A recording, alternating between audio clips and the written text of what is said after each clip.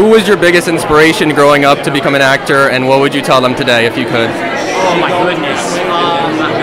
You know, I probably saw A Few Good Men 15 times in the theater because I love courtroom dramas. This is not necessarily a courtroom drama, but I do play a lawyer for the first time.